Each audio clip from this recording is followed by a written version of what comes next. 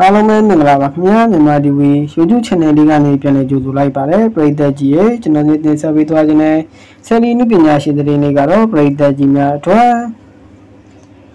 သမီးလေးတွေနဲ့ခွဲနေရတာကြောင့်လွမ်းမြေအကြောင်းလေးဖွင့်ဟလာတဲ့အဆိုတော်ကြပါ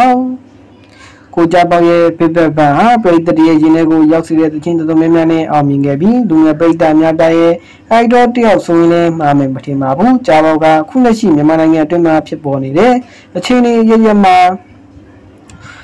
တူနေပဲဒူးမထောက်ပဲရေုံတော်လင်းနေတဲ့ပညာရှင်တွေထဲမှာလည်းထိဆုံးကပါဝင်ခဲ့ပါတယ်လက်ရှိမှာတော့လူမြောက်နေနေမှာရောက်ရှိနေပြီးဆရာနာရှင်ကိုဆက်လက်တော်လှန်နေစေပဲဖြစ်ပါတယ် ယခုတစ်ခါမှာတော့သမီးလေးကိုလွမ်းနေတဲ့အကြောင်းကိုသူ့ရဲ့မိုက်ဒီယာပုံလေးတွေတင်လွမ်းတဲ့သမီးလေးရဲ့ဆိုတဲ့စာသားလေးနဲ့တင်လာခဲ့တာပေါ့ခင်ဗျာ